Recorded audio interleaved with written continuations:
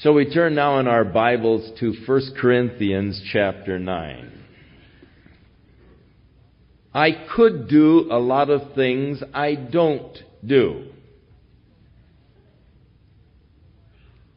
The reason why I don't do them is I do not want to be an offense unto a weaker brethren and destroy his relationship with God because of my own liberty in Christ. This is essentially what Paul is saying to the Corinthians. And he is telling them that they should be careful in their exercise of their own freedom in Christ.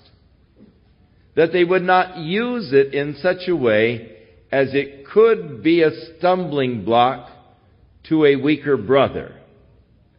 Now, as Paul is continuing this line of thought and this argument, he gives an example from his own personal life. Being an apostle, he could make many demands as an apostle that he refuses to make because he doesn't want to cause offense to anyone. So, as he is getting into this apostleship now and his rights as an apostle, he's only showing from his own personal advan- eh, from his own personal experience how he puts into practice the principle that he has just sought to teach them. And that is, yes, you have liberty, you have the rights, but you don't have to always insist on your rights or exercise your liberty, especially if it hurts someone else. So, the law that governs me is the law of love. My love for my brethren in Christ, especially those who might be weaker in the faith. My love for them is the law that governs my activities, not whether it is right or wrong. And so Paul said, Am I not an apostle? Am I not free? That is, free to do whatever I want as an apostle? And have I not seen Jesus Christ our Lord? Are you not my work in the Lord? So he is using as a sign of his apostleship, first of all, that he had seen Christ the Lord. One of the requirements of apostleship in the early church was the ability to bear witness of the resurrection of Jesus Christ by being an eyewitness of his resurrection. Now, there are those today within the church who are seeking to claim the authority of apostles and they have, well, one of them died the other day, uh, but uh, they do have men who have claimed the authority of apostleship. From a New Testament standpoint, it would be a difficult kind of a claim to make. For one of the requirements was the ability to bear witness of the resurrection of Jesus Christ by being an eyewitness. Paul declares that he saw Jesus. He also refers to the proof of the apostleship, their changed lives. They are his epistles of commendation, known and read of all men. He said, If I be not an apostle unto others, doubtless I am to you. For the seal of my apostleship is your being in the Lord. My ministry among you. The fruit of the ministry. The proof of my ministry. The fact that you are in the Lord. You are the seal of my apostleship. And my answer to them that do examine me in this so he's saying, actually, this is my defense to those, to those who would cross examine. He's using in the Greek a couple of legal terms, and evidently, The divisions in Corinth led to the place where they said, well, we're of Apollos, and they began, as they did in many places, to challenge Paul's claim as an apostle. Paul said, I am an apostle not by the will of man, but by the will of God. But they challenged his claim. They said, oh, he says he's an apostle, but, you know, he's not really an apostle.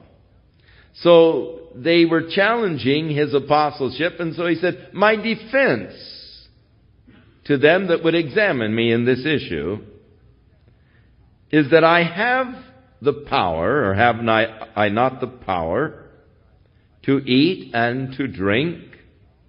Have we not the power to lead about a sister, a wife, as well as other apostles, and as the brethren of the Lord, and also of Peter himself? Or I only and Barnabas, have we not the power to forbear working? We don't have to work. We have the power not to work as an apostle. For those who preach the gospel have every right to live by the gospel. He said, who goes to war at any time at his own expense? If you're going to war, they provide you. You don't go out and buy your gun and buy your boots and buy your helmet and buy your ammunition. Those things are provided for you if, if you're in the military. You don't have to buy your own F-15. So Paul said, who goes to war and pays his own expenses? Who plants a vineyard and does not eat the fruit from it? Or who feeds the flock and doesn't drink the milk? Say I these things as a man, or saith the law also? Am I just spouting off as a man, or does the Bible confirm this? And using as a scriptural basis for this premise, he said, It is written in the law of Moses, Thou shalt not muzzle the ox that treads out the corn. Does God take care of the oxen? So that was a part of the law, the, the, the ox that treaded down the corn. You weren't to put a muzzle on his mouth. As he was going through, uh, pulling the plows and all, he could eat as he went through. You weren't to muzzle his mouth. Because he's laboring, he's working. Now, he's saying, does God take care of oxen? Is he more interested in oxen than he is in men? So Paul goes to the Old Testament to show that a servant has the right, or the ox has the right to eat the corn that it is treading. Now, did the Lord say it altogether for our sakes? For our sakes, no doubt, this is written, that he that plows should plow in hope that is the hope of the harvest. And he that threshes, threshes in hope, that he might be the partaker of his own labor. Now, if we have sown to you in spiritual things, is it some great thing if we shall reap from you the carnal things? If others are partakers of this power over you, are not we even more. Nevertheless, we have not used this power, but we suffer all things lest we should hinder the gospel of Christ. Now, again, talking about the liberty to do things, the right to do things.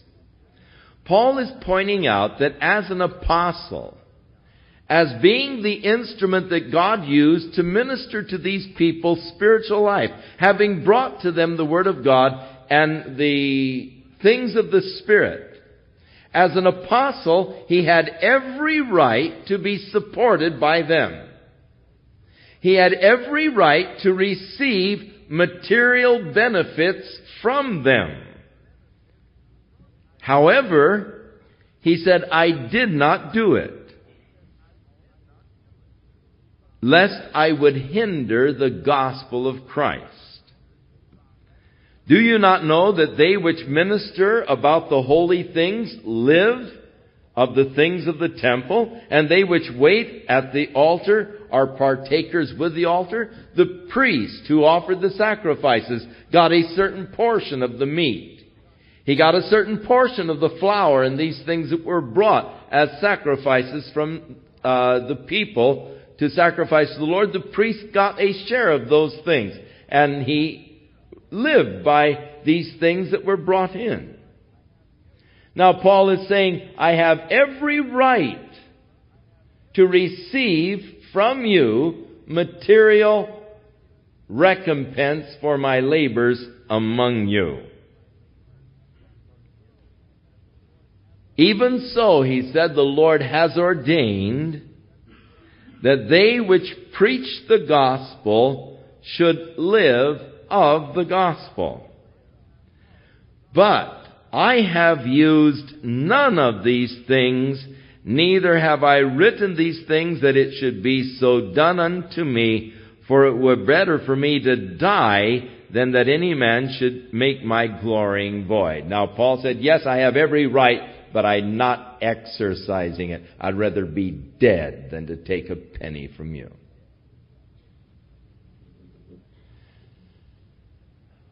Why? did Paul have this attitude? Because unfortunately, in Paul's day, as it is in the present day, there are many ministers that abuse this right. There are many ministries that are constantly seeking gimmicks, methods, ways of extracting more money from the people.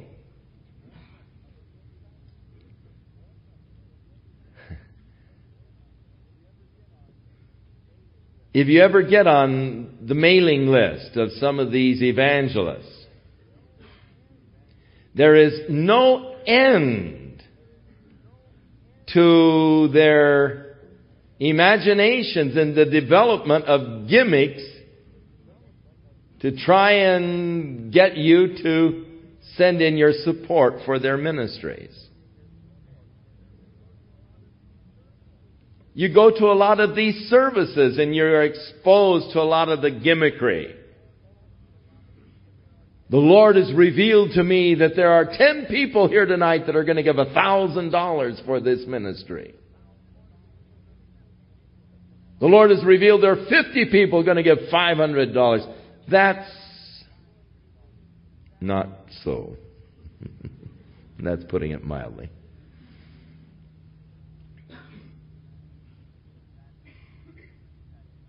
That is gimmickry, that is deception, that is that's terrible. Now, because of this, many people have been turned away from the gospel of Jesus Christ and they say, all they want is your money. And unfortunately, that is true in many places.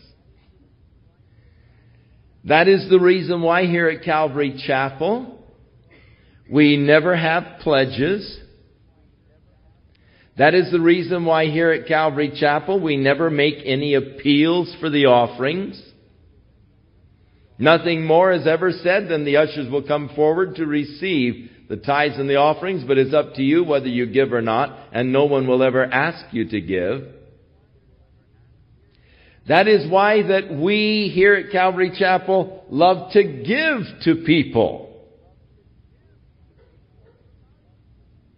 To just blow the minds of people who say the church is only out to get. That was same with Paul. He didn't want to be accused of being a mercenary, of just being after the people's money. He didn't want that to be an offense. And you know, years ago when the Lord called me into the ministry, I had seen a lot of this begging for Jesus bit. I had seen these various types of offering appeals. In fact, in college I was even taught how to make a strong appeal for money. Taught how to develop drives and solicit pledges and things of this nature. But when the Lord called me to the ministry, I said, Lord, I'll make you a deal. I'll serve you in the ministry as long as you provide, but I'm never going to solicit my support from people. You take care of me. I'm not going to ask people, I'm not going to beg people for money. Money will never be an issue in my ministry. I feel that it is criminal, criminal and, and manifestly wrong for these ministers who are constantly begging people for their dollars. And you know, it's almost as bad as the time in the Roman church when they sold indulgences. You want to get your prayer answered? Send your offering in to us, you know. You've got an unsaved son, send your offering to us and God will save him. You know, you can buy salvation for your son, you can buy healing for your mother, you can buy you know, all kinds of indulgences. It, it, it's made out to be that way in these phony fundraising drives. If those who were soliciting those funds would live very simple lives, not live in a lavish style, then I could accept it. But when these same ones who are begging these poor little widows to sacrifice from their social security checks to send in to them and they themselves are living a very high style of life, I find it intolerable.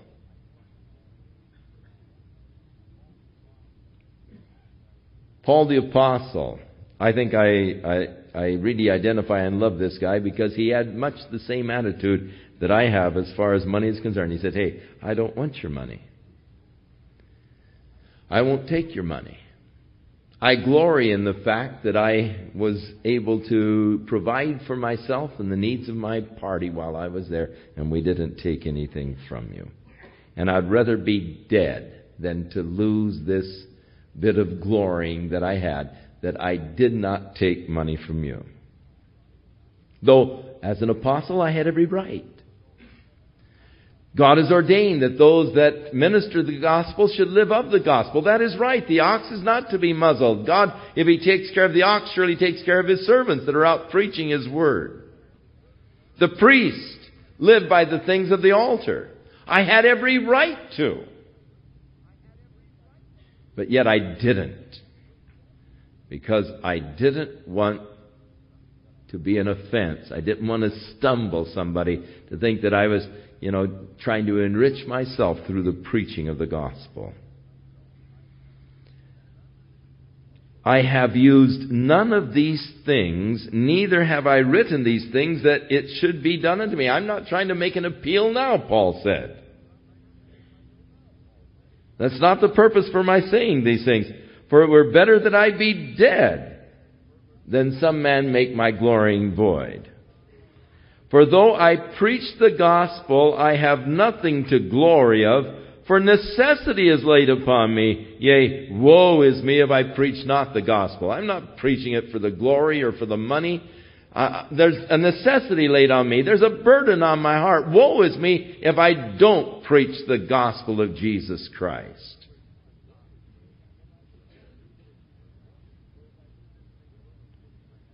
For if I do this thing willingly, then I have a reward. But if against my will, a dispensation of the gospel is committed unto me. So Paul said, I'm doing this willingly. I, thus I have my reward. Because I'm doing it willingly for the Lord. What is my reward then? Verily, that when I preach the gospel, I may make the gospel of Christ without charge that I abuse not my power in the gospel. I love that. Jesus said, freely you have received, freely give. Oh, how I thank God that our radio ministry does not depend upon the listeners for the support. How I thank God that we can go on the radio around the country and not have to spend 15 minutes a day in urging the people to support us this week or we won't be on the air next week. I thank the Lord that we can just freely minister the gospel to people around the country, blowing their minds because they wonder, how in the world is this program supported? It's supported because God has laid upon the hearts of the people here to give, and it's more than we need, so we just use the excess to get the gospel out around the world. And you know what? the more we give, the more the Lord sends in. That's the amazing thing. We've been trying to outgive God. And every time we take on new stations and put more money into the radio to, uh, to spread the word out further, the more God blesses. The more the supplies come in. And so we have seen the radio ministry expand from the original 25 to over 120 stations and another over 100 stations on Sunday broadcasts only. Plus cable television around the country.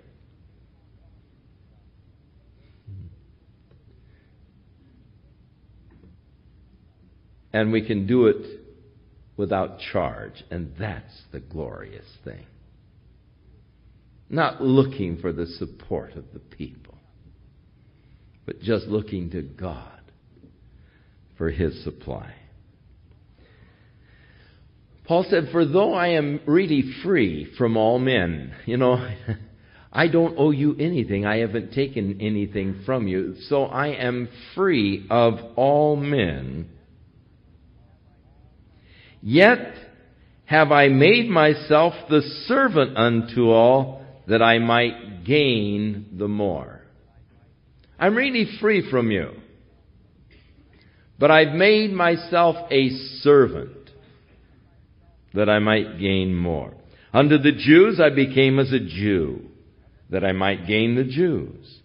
To them that are under the law as under the law, that I might gain them that are under the law to them that are without law, as also without law, yet not without the law to God, but under the law to Christ, that I might gain them that are without law. To the weak became I as weak, that I might gain the weak. I am made all things to all men, that I by all means might save some. And this I do for the gospel's sake that I might be a partaker thereof with you. So Paul seeking to identify with people, not setting himself above people and preaching down to people, but coming down on their level, seeking to understand where they are, seeking to identify with them in such a way that they could identify with Paul so that he could lead them to the strength and the power that they might know through Jesus Christ. Know ye not that they which run in a race run all, but one receives the prize? So run that you might obtain. And so again, Paul sees the Christian life as a race. He said to Timothy, I have fought a good fight. I have finished the course. The idea of the race. If Paul was the author of Hebrews, and I personally feel he was, he also made reference to the race. Wherefore, laying aside every weight and sin which doth so easily beset us, let us run the race with patience looking unto Jesus, the author and the finisher of our faith. Now, life is as a race. But Paul says, run to win. I like that. I have enough competitive spirit in me. I don't play to lose. Whenever I go out in any sport, I go out to win. That's almost a fault. It has been a real fault in my life. My desire to win is so great that if there's any place I can lose my composure, it's when there's been a bad call. I'm out to win. Hey, Paul said, be that way in your life for Christ. Go all out. So run that you might obtain the prize. Every man that strives for the mastery, that is a term for the wrestling. The Olympics were held in Athens, but they had also the second largest athletic events in the world were held in Corinth. And so those in Corinth were very familiar with the athletes who would be training for the games of Corinth. Fellow who is working out wrestling is temperate in all things.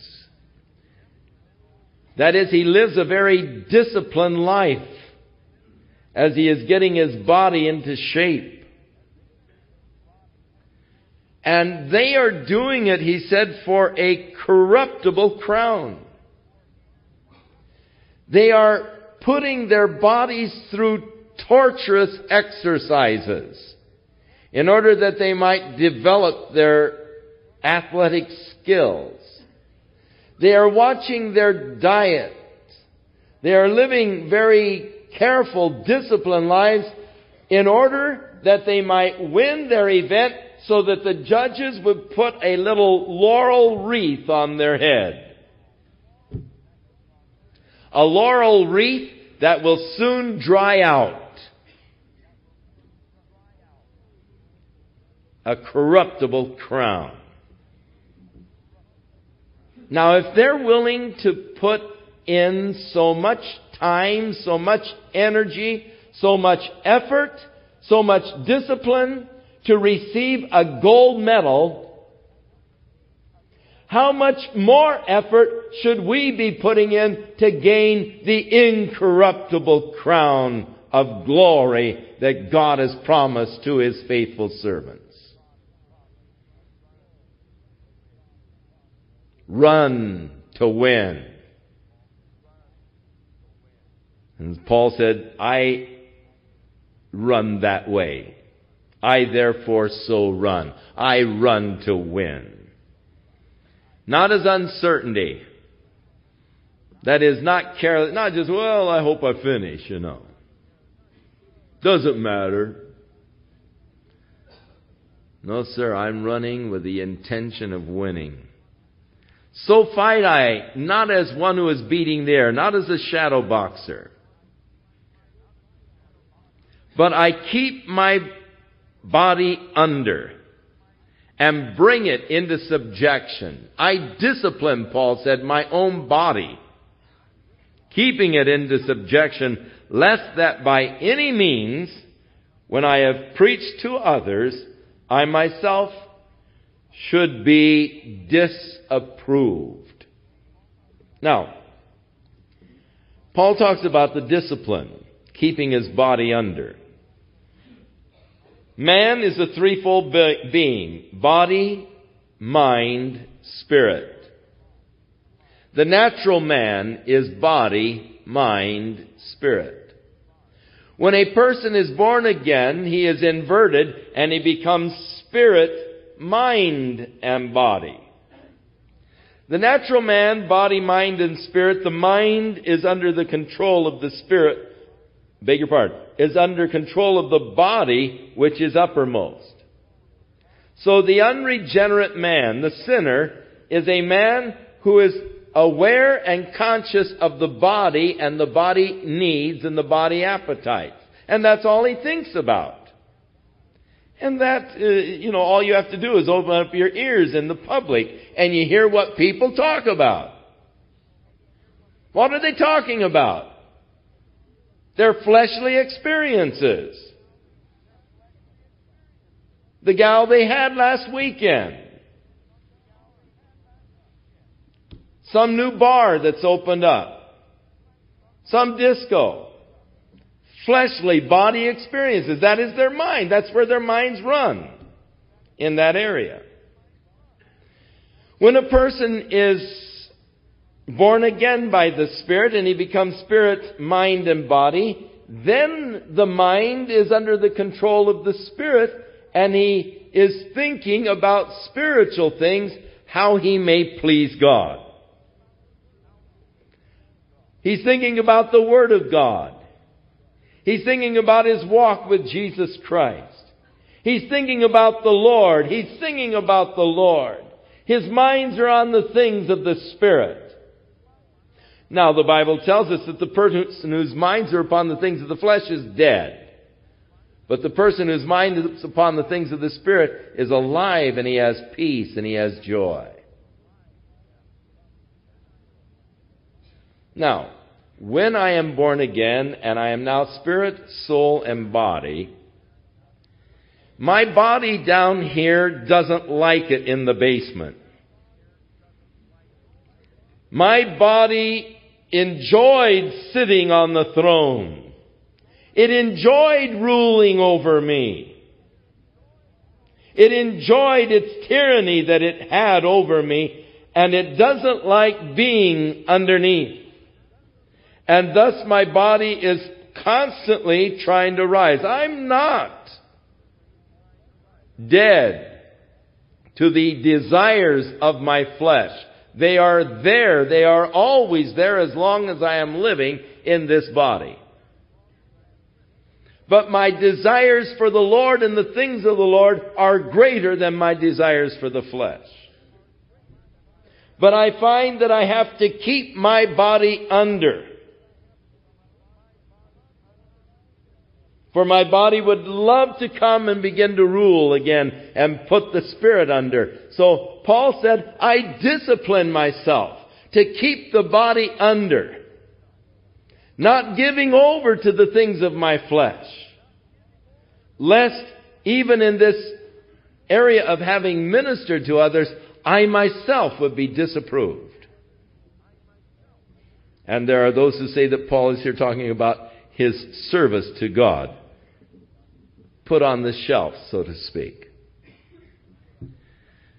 So it is important for us to keep the body under, to discipline ourselves in spiritual disciplines.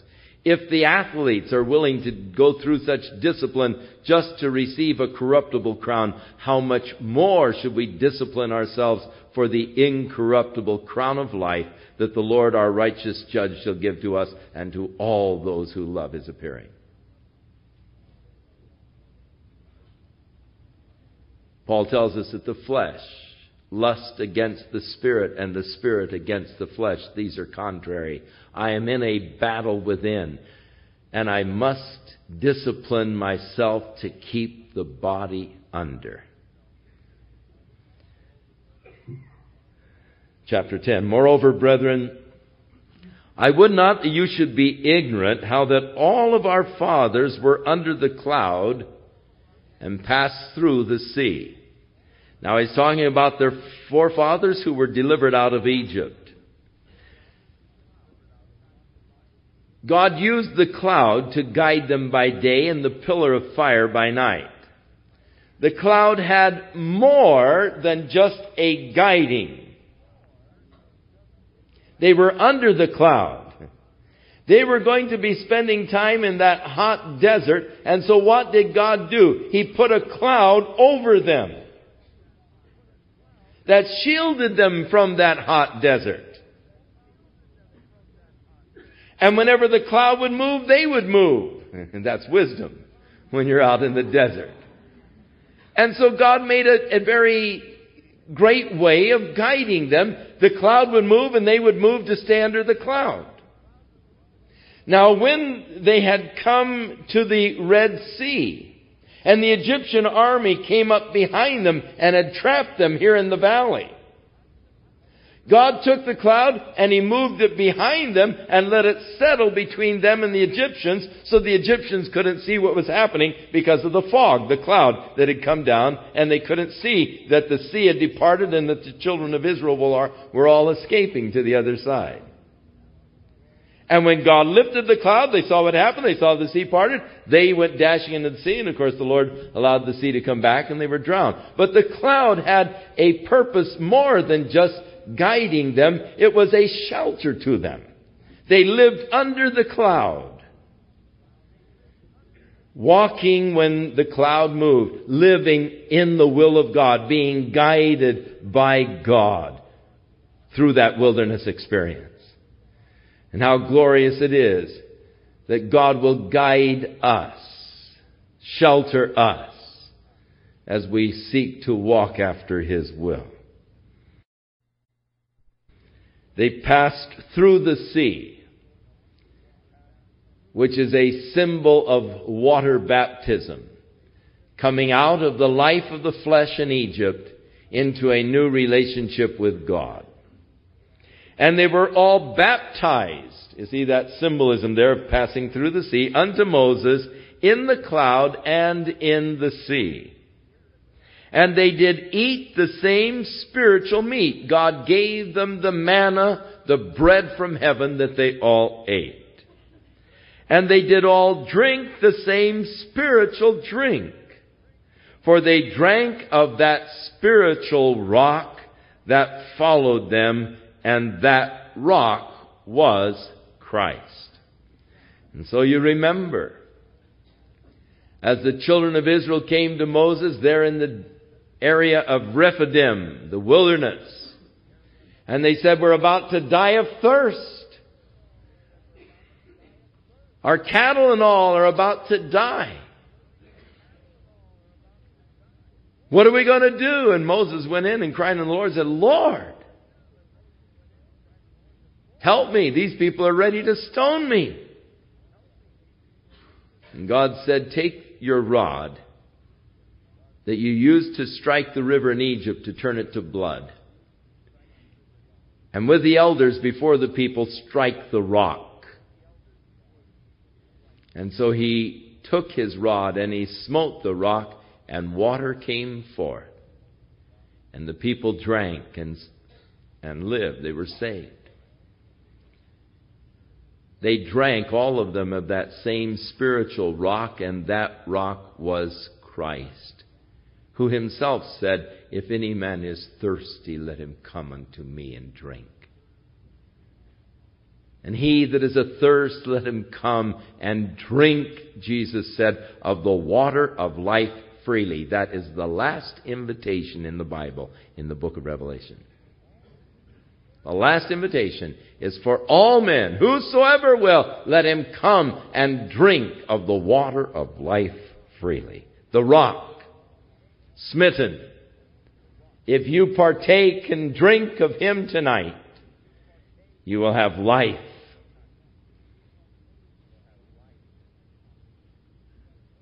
But with many of them, God was not well pleased. And they were overthrown in the wilderness. When Moses sent out the twelve spies to spy out the land, ten of them came back and gave an evil report.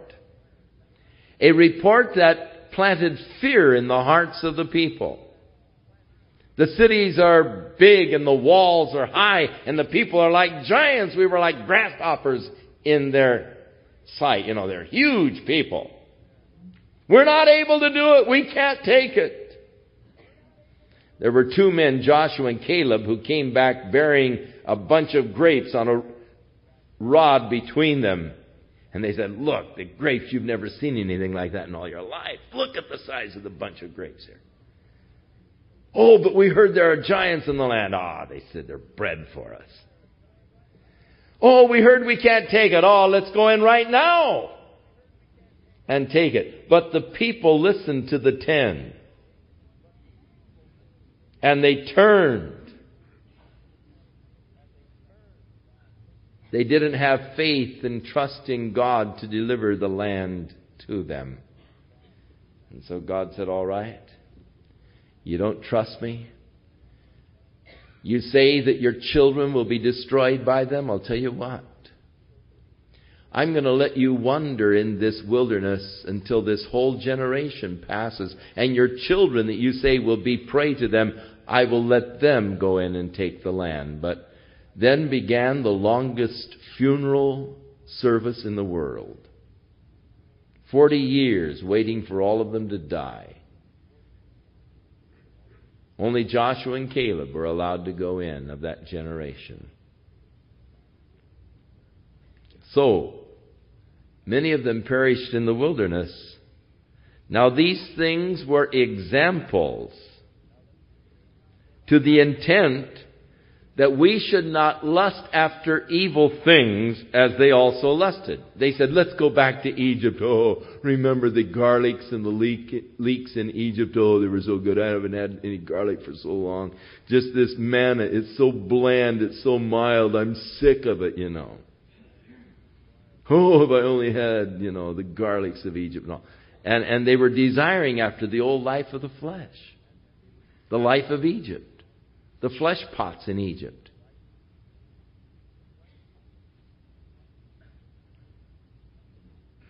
These were written for our examples that we would not lust after the things of the flesh as they lusted.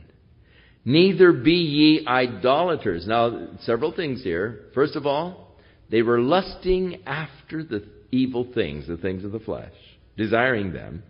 Secondly, they, many of them turned to idolatry. You remember Aaron made the golden calf and the people are all dancing around the thing?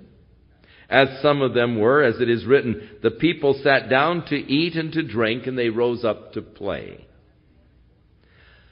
Neither let us commit fornication, as some of them committed and fell in one day 23,000.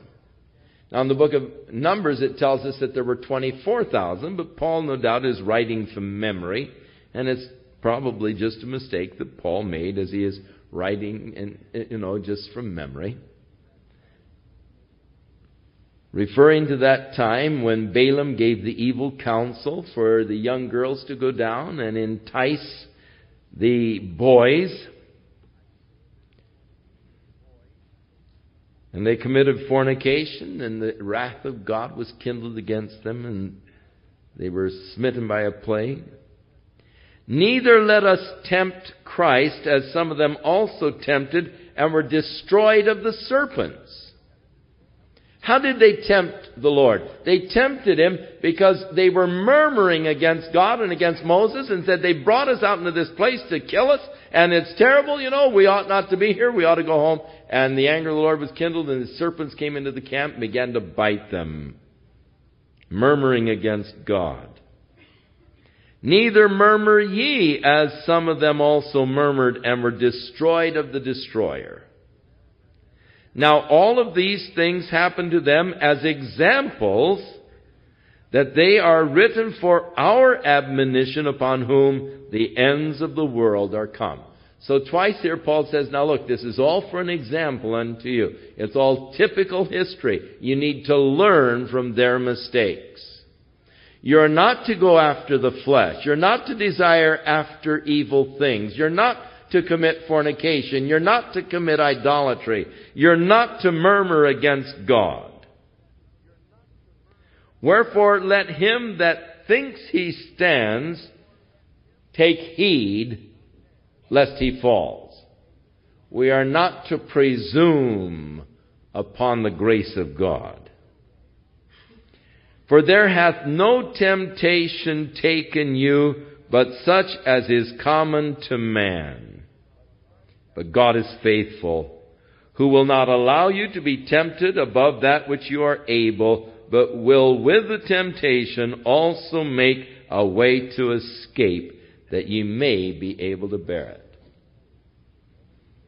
The Bible says when a man is tempted, he shouldn't say that he is tempted of God. Every man is tempted when he is drawn away by his own desires and enticed, and lust, when it is finished, brings forth sin. Temptation begins with the mind, the desire. What do I do with it? Now, the temptations that we have are common to man. As I'm living in this body, I'm going to be subject to certain temptations. The desires of my flesh, the drives of my flesh. That's common to man. But with that temptation, God is faithful to me. He will not allow me to be tempted beyond my limits. He will provide for me the way to escape. In order that I will be able to bear it. But it is important that I take that way of escape. God's not going to force you away from temptation. God isn't going to force you to be good. When temptation comes, there is always an escape route. God always provides the way of escape. And if you fall to temptation, it's because you didn't heed the voice of God. You didn't take the way of escape that He provided. And I can testify of my own life that in every temptation where I fell, there was the route of escape. I had had the word of the Spirit to my heart. God said, get out of here.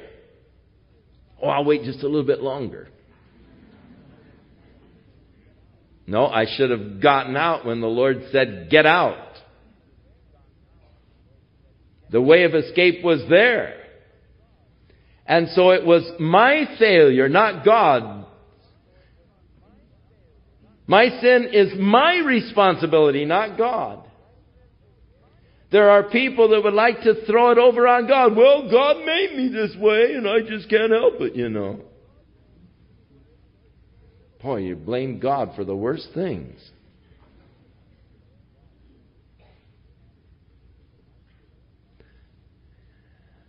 It's my failure.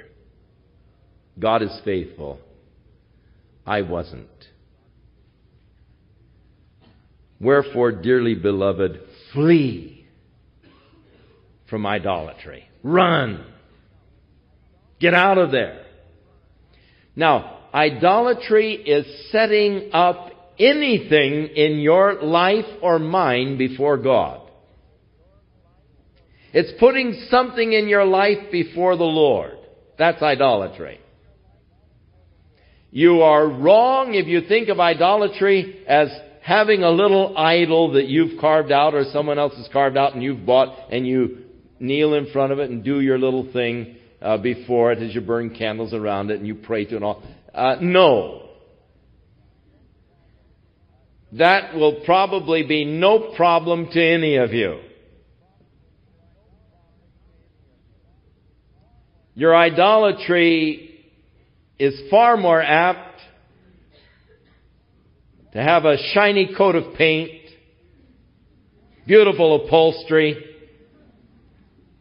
and a turbo engine inside. Something that gets in your heart, your mind, your life, and precedes your walk with God. It becomes more important to you than your walk with God. Something that replaces God in your life. That's the idol. Flee idolatry. I speak as to wise men. Judge what I'm telling you. The cup of blessing which we bless. That is, when we gather together at the Lord's table and we take the cup and we bless it. This cup of blessing that we bless. Is it not the communion of the blood of Christ? The word communion there is that interesting Greek word koinonia. Is it not the oneness that we share with Christ, the communion that we have with Christ, or the fellowship that we have with Christ, that oneness that we are sharing with Him? this cup of blessing that we bless, whereby as I drink, I am identifying myself with Him. For we being many are one bread and one body, for we are all partakers of the one bread. For the bread which we break, is it not the communion of the body of Christ? So this communion, with Jesus Christ, the blood of Christ and the body of Christ, whereby we become one with Him and whereby we also become one with each other.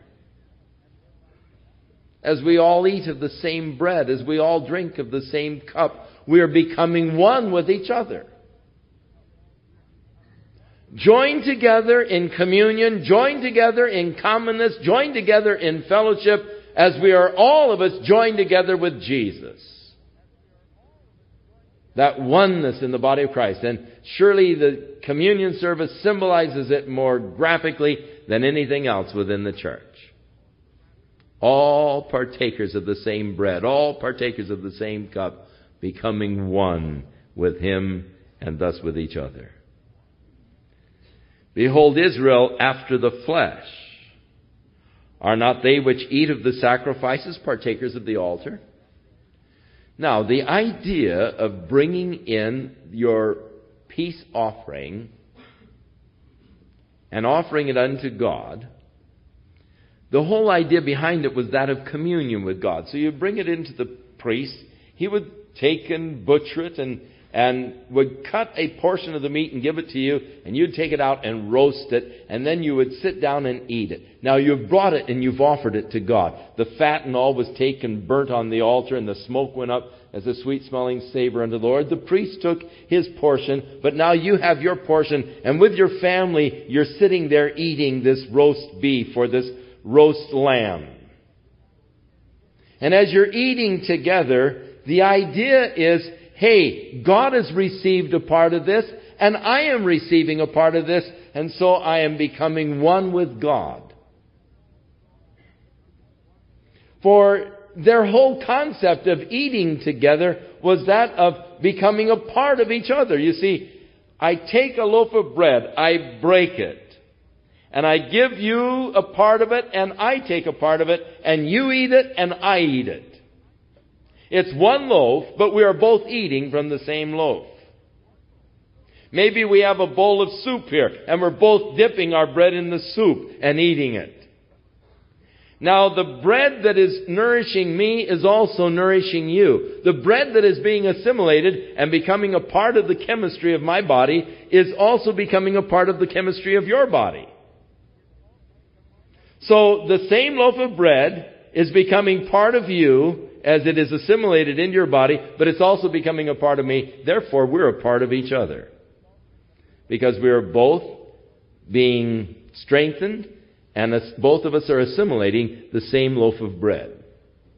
And they really saw this, and, and it was to them something that didn't need to be explained. It was just an accepted thing. So, when I offer a part of this meat to God, and it is burnt on the altar unto the Lord. It's God partaking of it, and now I'm eating of it. So I am becoming one with God. Beautiful thought. Beautiful concept. And, and the beautiful awareness of becoming one with God. Now we have that every time we partake of communion.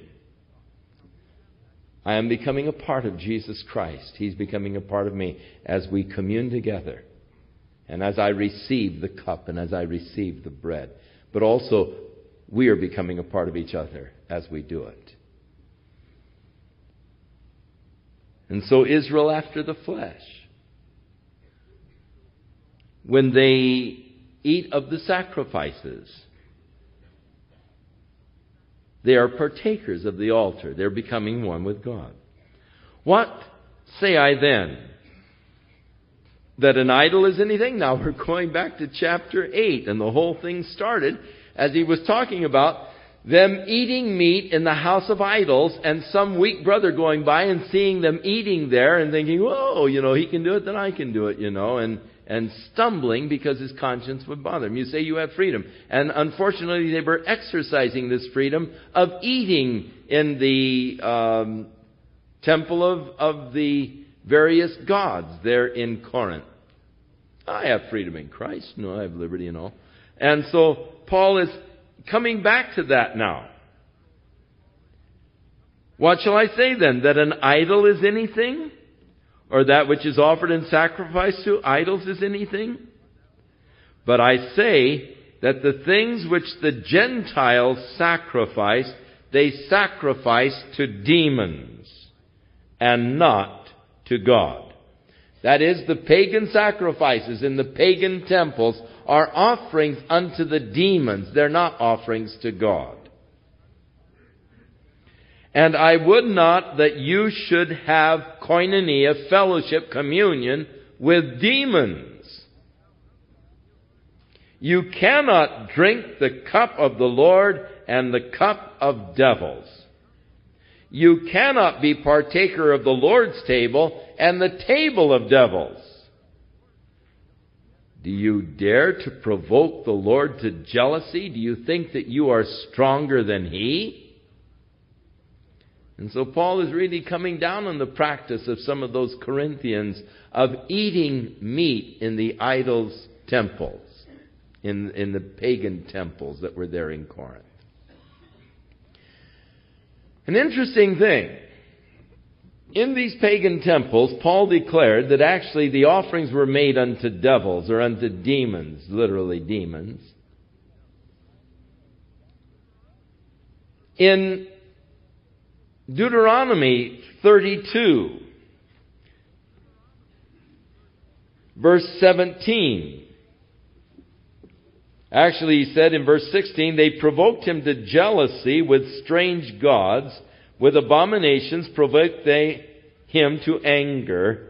They sacrificed unto devils, not to God to gods whom they knew not, and to new gods that came newly up, whom your fathers feared not, and of the rock that begat thee, thou art not mindful, for he has forgotten the God that formed him. So, the concept is that the worship of these false gods, the worship of these idols, was in reality the worship of demons. There was in Harper's Magazine many years ago an interesting article called I Saw the King of Hell. It was taken from the book Through Forbidden Tibet. And the author talks about going with the religious leaders of Tibet in disguise to a ceremony that is held annually or was held annually where they called forth the various demons. And he describes these demons as they appeared, their forms. And then he describes as they called forth the king of hell. It is a very spine tingling description. Awesome. A lot of people say, well, you know, all roads lead to God. And, and those people are so sincere in their worship. Though they don't believe in Jesus, surely God will, you know, eh, recognize their sincerity and all. Because what difference does it make, Confucius, Buddha, you know, or, or, or, or whatever? You know, aren't we all seeking after God? Well, that isn't the concept that we receive from the Bible. Jesus said, I am the way, the truth, and the life. No man comes to the Father but by me. Paul said, they are sacrificing unto devils.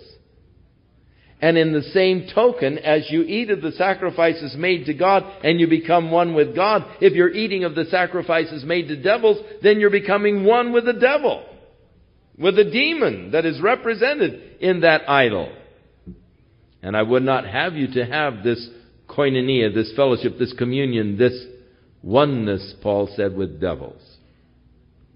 Therefore, you cannot drink of the cup of the Lord and of the cup of devils. You cannot be partakers of the Lord's table and of the table of devils. Now, he is no doubt thinking of this 32nd chapter of, of Deuteronomy, the thing that we just quoted or read to you, because again, he, uh, it says that they provoked the Lord to jealousy in sacrificing the devils. And he said, Do we provoke the Lord to jealousy? Are we stronger than he? Dare we to, to oppose him? Now, all things are lawful for me. He comes back to this refrain. But all things are not expedient. Yes, you may prove that it's all right, you know, that I am living under grace and I believe in Jesus Christ and therefore it's alright and you may enter your argument and yes, it may be lawful, but it isn't expedient. It's going to slow you down. It's going to hinder your progress. If you're running in the race, run to win and don't take on extra baggage or weight that will slow you down. It's not expedient. All things are lawful for me, but all things edify not. There are things that tear me down and do not build me up. There are things that take me away from Christ and do not bring me closer to Christ. And my desire is to get close to Him. And therefore, though it may be lawful, you may prove that it is all right, it is taking me away from my fellowship with Him. It isn't building me up in Him or building Him up in me. Therefore, though it may be lawful, wisdom tells me, don't do it. It'll slow you down. It will tear you down. I'm desiring to win the race. I'm desiring to be found in Christ, built up in Him. Let no man seek his own, but every man another's profit. Don't just live for yourself. Don't just think about yourself.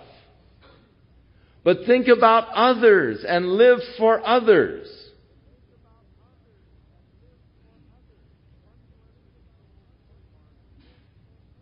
Whatsoever is sold in the market, go ahead and eat it. Don't ask questions for your conscience sake. Now, a lot of the meat that was sold in the butcher shops in Corinth were used first in sacrifices in the pagan temples. So when you went to the meat market to buy meat, you say, I like a pound of hamburger. Was that hamburger offered as a sacrifice in the temple? Paul said, don't, shut up, don't ask that kind of stuff. Just buy it, take it home and eat it. For your conscience sake. What you don't know won't hurt you. And so for conscience sake, just don't ask questions. Because really, of course, we know it doesn't matter. But if you ask and are asking those kind of questions, then you're going to find yourself tripping over your own conscience. So eat.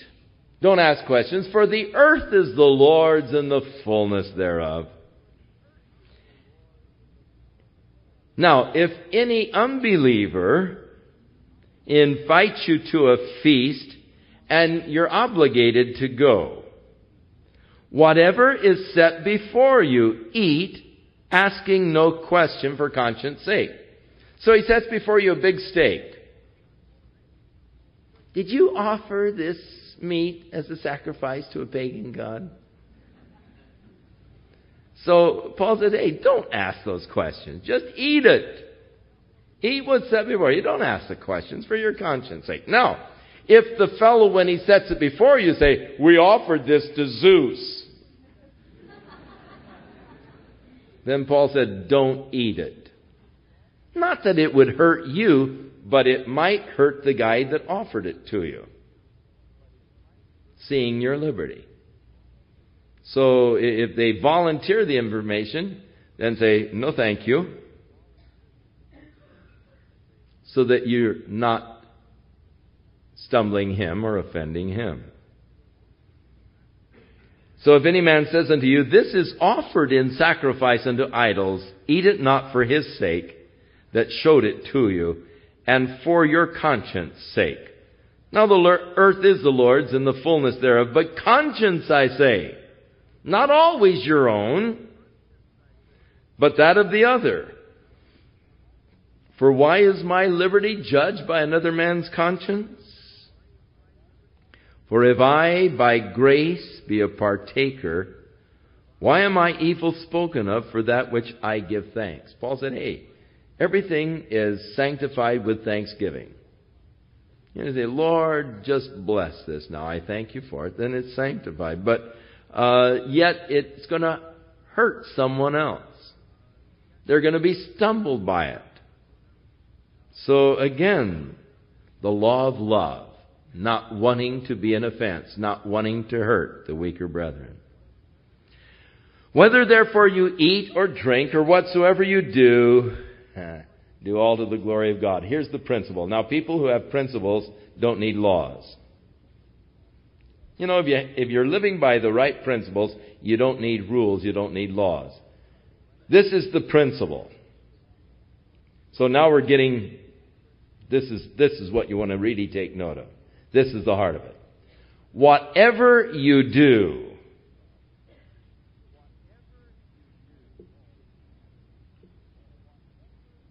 do all to the glory of God.